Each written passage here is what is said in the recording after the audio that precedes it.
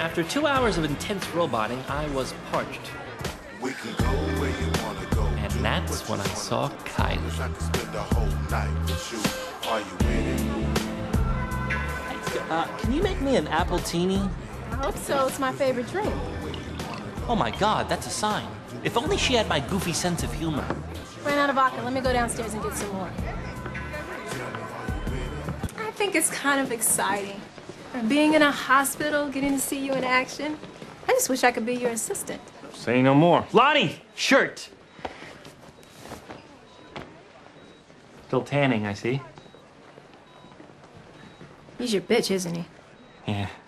That's so cute. I'll go change. And I knew I couldn't let her go out that door. Let's go. Kylie, wait.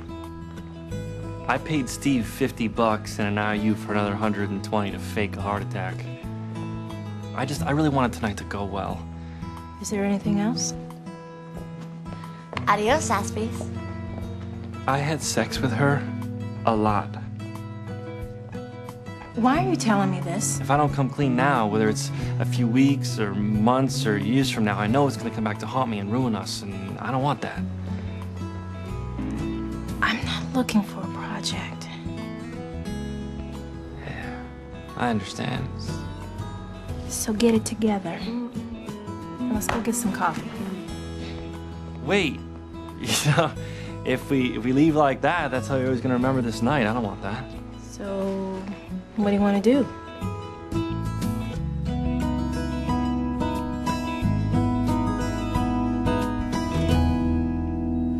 Have to know when to apply the power thrust in your swing. Oh, yeah. Okay. Okay, wait, wait, wait, wait. Eh? Okay. Now go. Woo! So do I propose to you now or what? no, I am serious. I haven't met anybody as cool as you in a long time. You're not seeing anyone special, are you? Oh, me? No, I'm free. No, but there's one little minor thing. My ex-wife lives with me. She lives with me because we have a son together. Trust me, there's nothing between us. Hey, don't worry about it. I just appreciate you being honest. I don't know too many men who would do that. What? Raise their son? No, they're ex-wives. Woo! Damn, Sherry Bonds! I didn't expect to hear this, but I'm happy to hear it. Hey, look, I can't believe the words that are coming out of my mouth either, but they're real. And that's why I want to help you. Help me? You don't have to do what you're doing. Oh, well, thank you, because I've never thought of that. Are you being sarcastic? Are you being serious? no, I was just trying to help. I tried the regular jobs, Robert. The money I made at those in one week didn't compare to what I make in one night dancing. So I quit. Do you really think I'm doing this because I don't know that there are other jobs out there? No, I think something went wrong between what do I want to be when I grow up and, oh, I could be a stripper. Look, Eva, I just think that you have more potential than that. well, it's not like I have sex with these men, Robert. Ooh, you sound just like my mother. All right. Look, if it works for you, then I'll just have to deal with it. Wait a minute. Are you breaking up with? me? Yeah. I like you too much not to.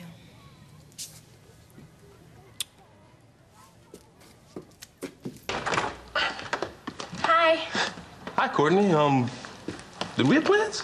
No. Are you busy? Not anymore. I just want to thank you for being so understanding about my celibacy. You want to thank me on the couch? Or you want to thank me upstairs?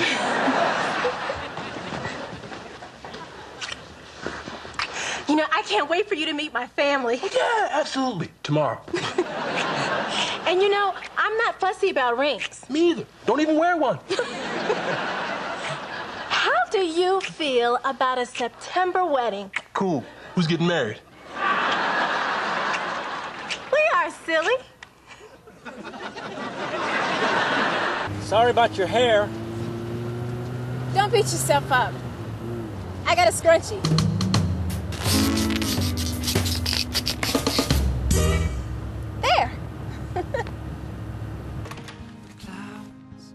Kylie, I'm sorry. I hope it's okay that I stopped by. What was that for? I was thinking about how patient you've been with me, how right things feel. And then you showed up and it feels like fate. Wait, are you saying that you're ready? Awesome. First, let me set the mood. And Kylie, you're right, it is fate because I was out with this girl tonight that I totally could have had sex with, but it was easy for me to blow her off because I was excited to be with you. Why have you stopped lighting incense? It makes the room smell like Chinese rain. You blew me off tonight to be with some random girl? Well, she's not a random girl. I mean, I had a crush on her long before I met you. I will kill you. You should go. I was in trouble, and if I didn't play my cards right, I knew what could happen.